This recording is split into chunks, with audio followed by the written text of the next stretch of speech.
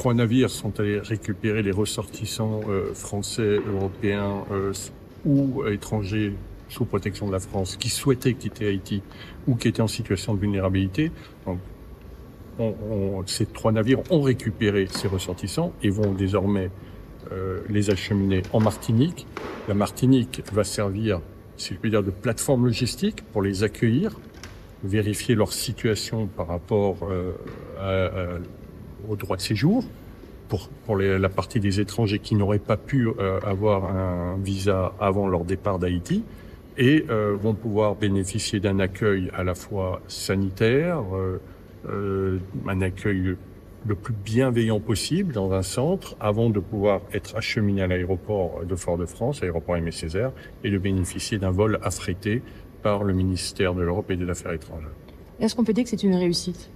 On pourra le dire une fois que ce sera terminé. Mais en tout cas, ce que je veux souligner, c'est que nous avons pu bénéficier d'une parfaite mobilisation de l'ensemble des services de l'État, euh, de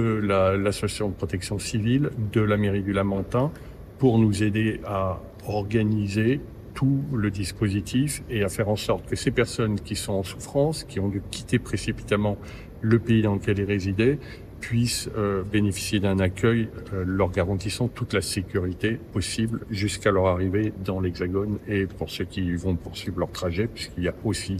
euh, des Japonais parmi eux, il y a des, nationalités éloignées, pouvoir faire ce long trajet dans les meilleures conditions possibles.